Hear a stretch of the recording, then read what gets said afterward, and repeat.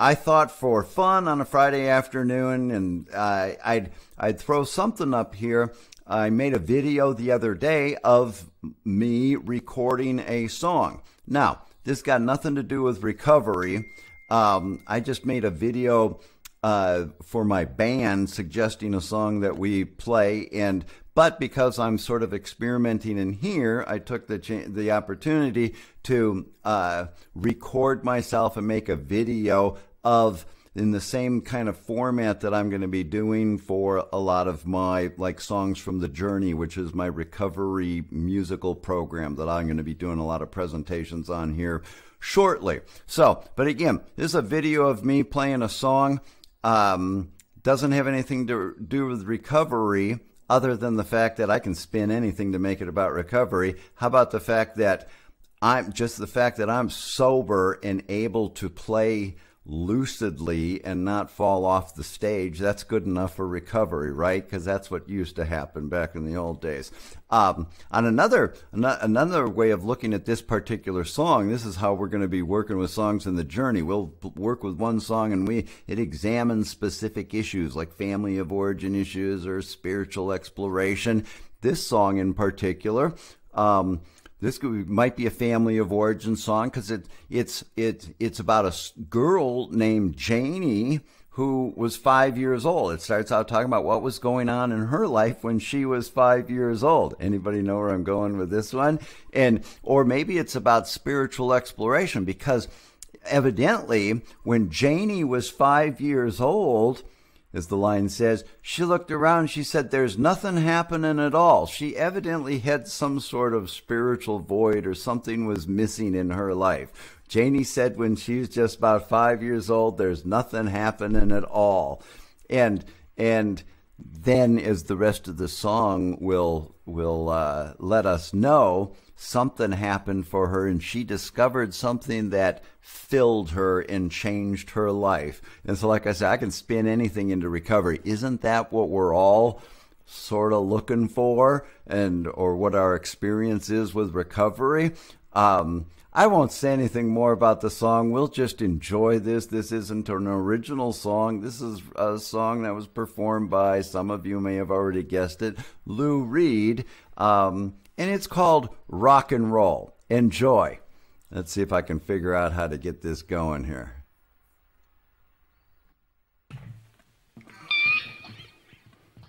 Yeah.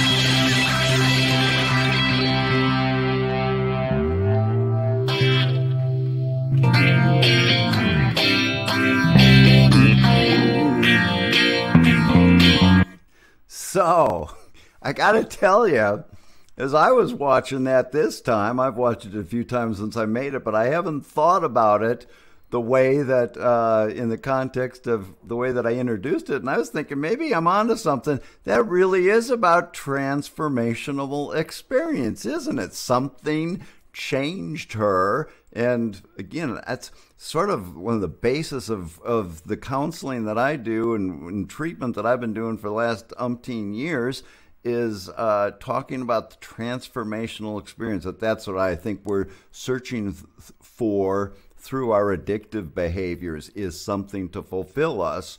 Um, so again, look at how I can take something as yucky, yucky for yucks as this and turn it into a serious recovery topic. Transformational experience. We're looking for something to fulfill us. Hopefully, we're finding that. I'm still on the journey of finding that. I don't think we ever get there completely, um, but it's an awesome ride along the way. Hope you enjoyed this. Hope you have a great weekend. Peace out, folks.